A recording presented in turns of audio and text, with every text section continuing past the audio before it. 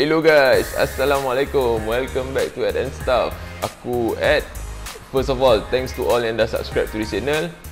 Siapa yang belum subscribe guys, korang just click subscribe button kat bawah. Korang turn on notification sekali, okay? Okay guys, seperti yang aku uh, promise Aku dah completekan aku punya masking. So basically, aku rasa this is uh, boleh dikatakan last step lah Sebelum uh, aku paint the actual design yang aku dah plan lah. Jadi guys untuk aku punya uh, Corvette body ni uh, so ni lah aku dah completekan all the masking. Actually eh aku bukan tak nak uh, record the actual process during this video tapi dia merupakan kerja yang uh, sangat lengthy lah kan? So macam-macam nak kena buat. Jadi aku siapkan dulu. But aku ada some clips yang aku dah pre-record. So nanti aku just uh, layer dengan this video lah okay? And guys kalau korang uh, uh, nak tahu design yang aku akan buat is uh, sebab body ni body Corvette kan? Corvette C8 jadi aku akan buat uh, Corvette racing punya design lah Aku pernah juga nampak dekat uh, Arma punya official lah, Instagram dia dia buat one design uh, guna the gun metal, main color gun metal lepas tu dia stripes is uh, yellow color lah. Tapi aku pilih yang dia ada design and aku rasa macam aku dapat capture lah the the design walaupun tak 100% sama tapi boleh kata macam 90% lebih kurang lah kan. Tapi whatever it is kena tengok juga lah hasil after aku paint the actual design lah kan? Jadi guys macam aku pernah mention sebelum ni kan uh, bila kita dah dah trim the body lah bila aku dah potong dia punya wheel arc dia punya spoiler bumper apa semua ni uh, uh, in the previous video kita kena basuh dulu lah. Uh, so basically the the section tu yang dekat belah dalam ni all the wheel arc semua ni yang dekat dalam ni sebelum uh, korang buat masking sebab bila korang masking korang akan cover some parts of the uh, ni lah of the polycarbonate lah. Jadi sebelum korang tampal tu korang kena basuh dulu sebab uh, after the manufacturing lah. Uh, maknanya masa manufacturing process tu dia adalah guna all the chemicals lepas tu all this uh, vacuum punya process guna whatever machine yang dia orang guna ni dia akan ada some stain yang macam uh, melekat lah. Uh, So basically kalau macam korang tak bersihkan benda ni Bila korang nak spray nanti The spray takkan uh, adhere dengan baik lah Dekat korang punya body okay? So untuk basuh ni pun dia ada uh, beberapa method kan Ada orang cakap korang soak dalam warm water Lepas tu korang guna uh, apa multi-purpose cleaner ke. Tapi uh, yang aku guna is uh, firstly aku basuh uh, guna running water daripada aku punya ni ada kat sinki aku yang guna tap water. Uh, normal temperature okay. Lepas tu aku just uh, tuang sikit uh, dish dishwashing punya soap kan. Apa sabun basuh pinggan biasa tu. And then aku guna scrubber 3M lah. Uh, span 3M ni dia ada macam dia surface dia rough sikit. So kalau ada stain yang macam susah nak hilang tu By right dia akan hilang lah okay Jadi kalau korang tengok dekat sini korang akan nampak lah. Aku aku sental dekat uh, apa all these nooks and crannies dekat body tu kan. Maknanya satu kesan-kesan uh, macam aku cakap tadi yang yang during manufacturing. Lepas tu selain daripada tu yang aku uh, trim the body lah. Kan Maknanya masa aku pegang aku punya apa Aku punya all this kesan cap jari ke apa benda semua ni lah. Okay after aku dah uh, basuh the body Basically aku kena keringkan lah Sebelum aku buat masking kan. So uh, korang boleh guna lean free cloth ya, Maknanya kain yang macam korang lap apa uh, korang punya glasses ke Sebab dia tak ada bulu tau. Uh, So kalau bulu ni pun problem juga masa korang nak paint nanti kan.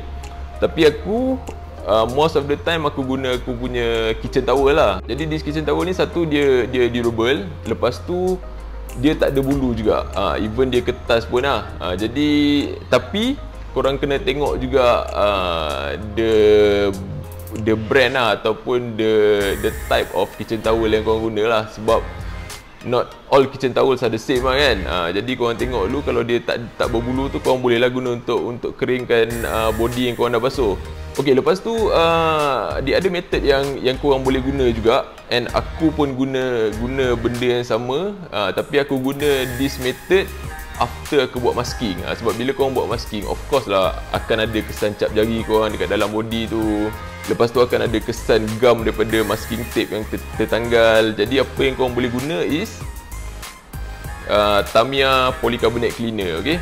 Basically dia macam uh, alcohol solution juga. Jadi all this uh, kesan stiker apa semua dia akan hilang lah kalau korang korang uh, lap guna ni.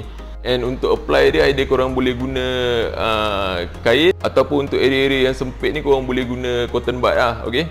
So guys uh, Once korang dah clean Korang punya body ni Korang either boleh Proceed terus dengan Dengan korang punya masking Ataupun uh, Korang boleh buat uh, Lubang dulu Untuk korang punya uh, Body post lah. Uh, Kalau sebelum tu korang tak tebuk Macam aku uh, aku dah tebuk kat sini. Ada empat lubang untuk dua untuk front body post dua untuk rear body post tapi aku buat lepas aku complete masking lah. Uh, tapi macam aku cakap lah bila korang dah buat ni ada kesan cat jari apa semua tu just guna the polycarbonate cleaner untuk bersihkan balik lah okay So guys, bila bila nak start kerja-kerja masking eh macam yang aku pernah cakap lah. Uh, basically untuk masking ni korang boleh guna sama ada liquid mask ataupun korang guna masking tape. Uh, macam aku aku memang guna masking tape and aku guna brand Tamiya lah.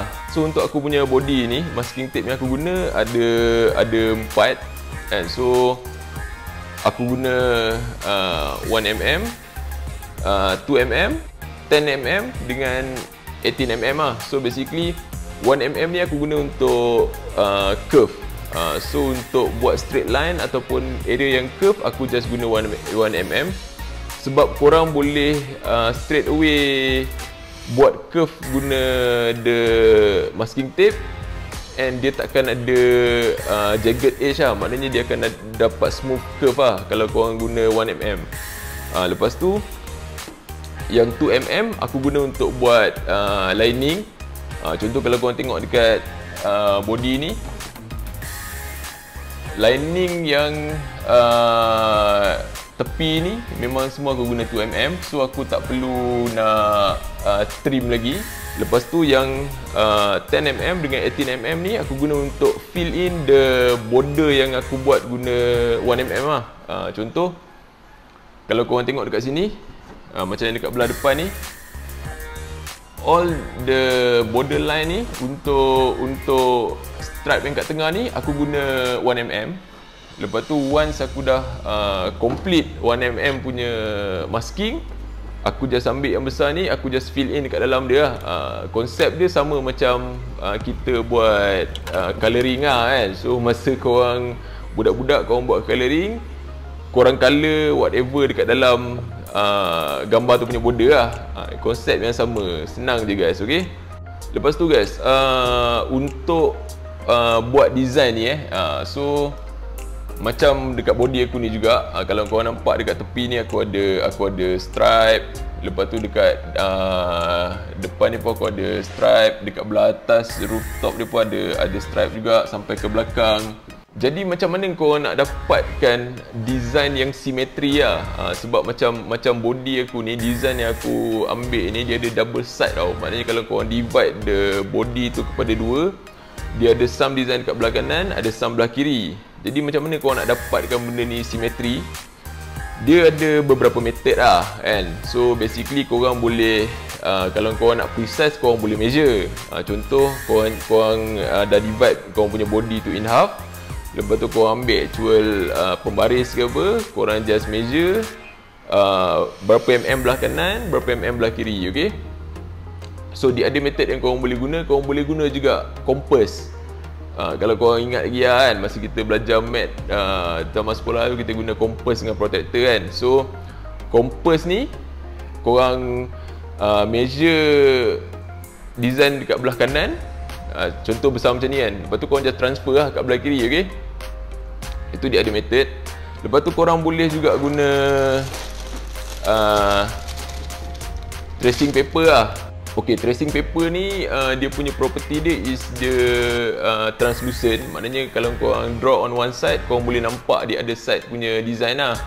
Jadi kalau korang guna the tracing paper ni ataupun sebenarnya ni baking paper je. Ha, kalau macam wife kau ada ada baking paper selalu baking kau just potong sikit.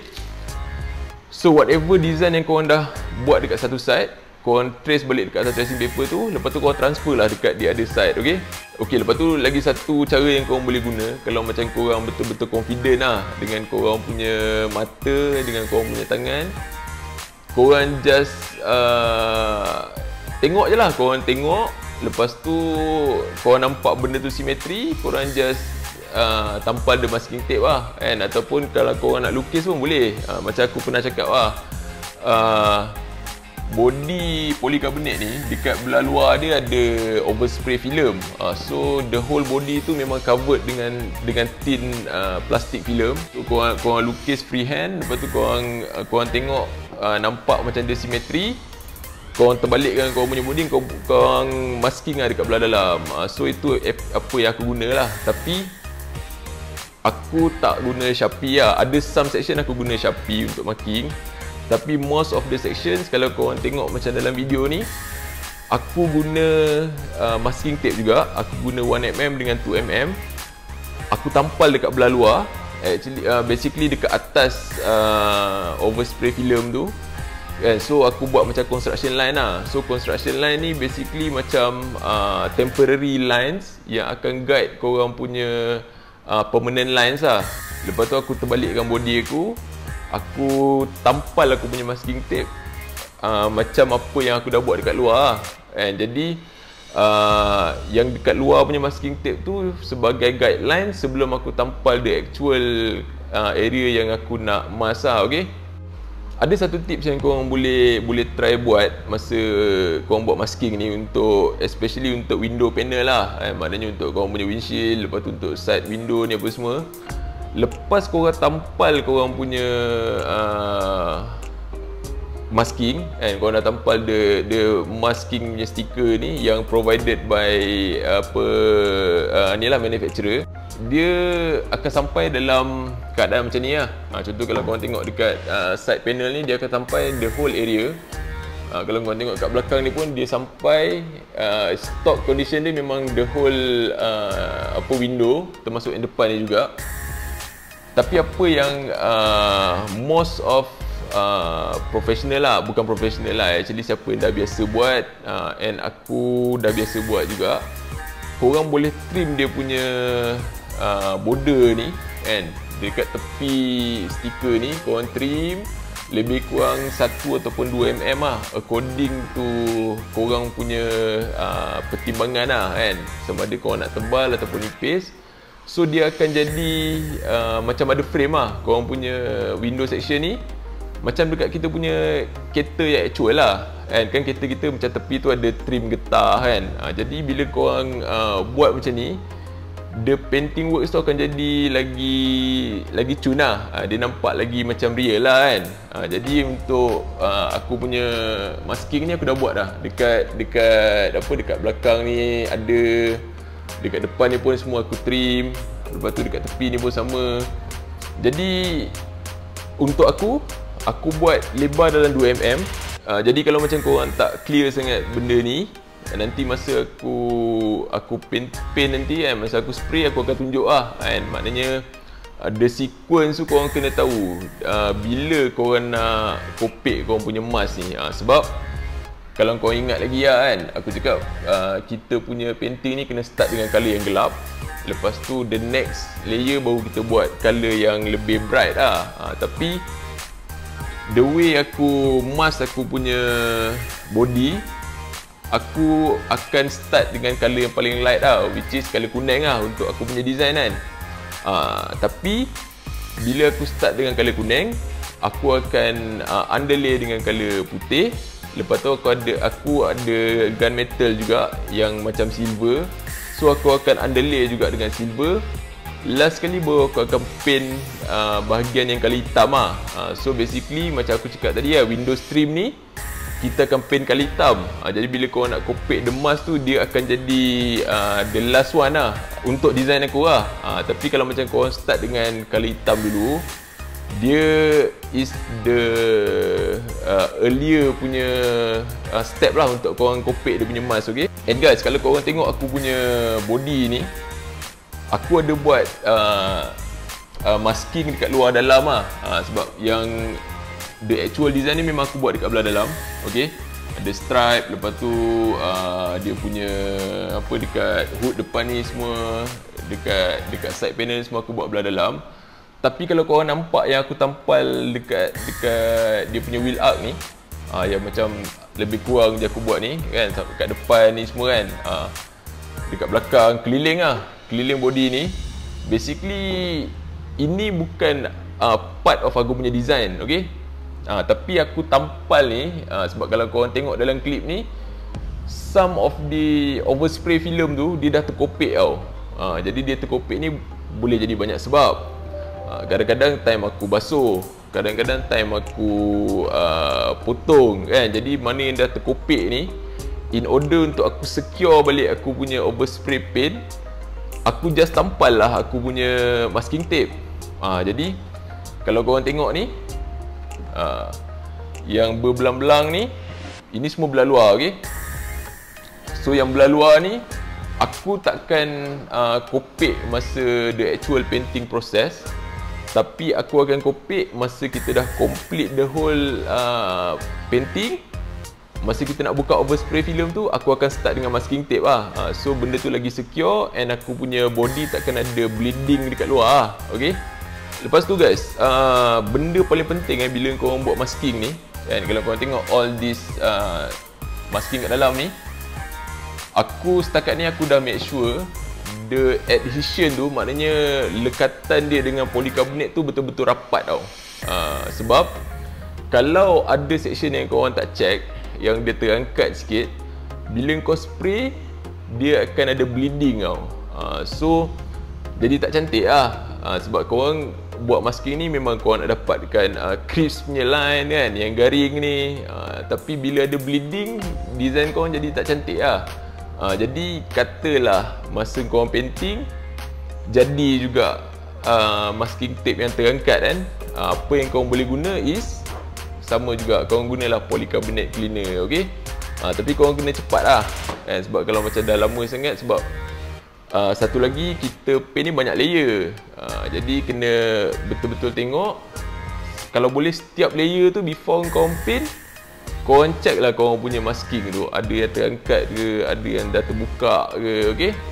Ok guys aku rasa uh, untuk masking itu je yang yang penting lah kan. Tips-tips yang korang boleh boleh guna apa yang aku buat and ada benda yang korang boleh boleh apply ataupun uh, ada benda yang aku tertinggal kau boleh komen juga dekat dekat bawah.